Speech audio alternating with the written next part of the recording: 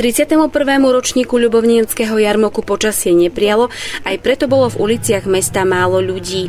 Okrem toho sa pod nízku návštevnosť podpísala zrejme aj úradujúca hepatitída typu A, no aj napriek týmto nepriaznivým okolnostiam sa mestu podarilo získať rekordný príjem. Dosiahol sumu blízku 42 tisícom eur.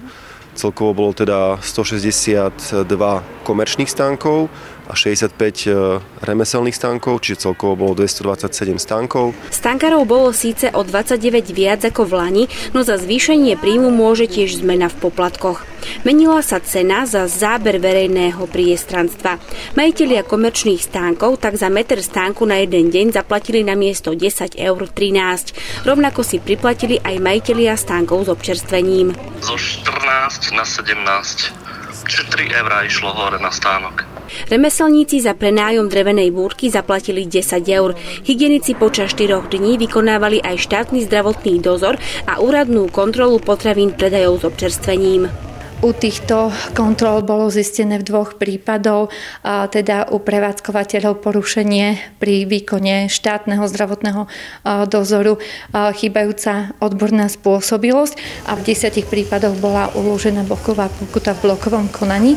Pri výkone úradnej kontroly potravín bolo v dvoch prípadoch u prevádzkovateľov zistené porušené skladovanie potravín, za čo bolo v blokovom konaní týmto prevádzkovateľom uložená bloková pokuta. Počas celého jarmoku boli v teréne aj členovia miestnej občianskej poriadkovej služby i mestskí policajti. Nejaké malé výtržnosti boli, ale v rámci normy, ktoré sme dokázali zvládnuť a boli tam nejaké možno prístupky, nejaké pokuty za verejný poriadok a nejaké aj za dopravu, ale ináč všetko prebehlo v norme. Mesto prijalo aj niekoľko významných a dôležitých delegácií. Mali sme delegácie z partnerského mesta Backý Petrovec zo Srbska, takisto z partnerského mesta Svaliava z Ukrajiny a delegácie boli aj z poľských partnerských miest Polanec a Nový Sonč. Ja som tu, ak sa nemýlim, 22. krát. Prvýkrát som bol ako starosta a teraz už chodím ako host na pozvanie primátora.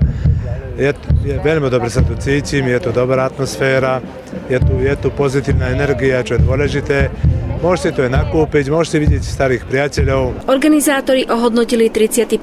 ročník ako úspešný, keďže prišlo najviac predajcov a mesto získalo do posiaľ najvyšší príjem.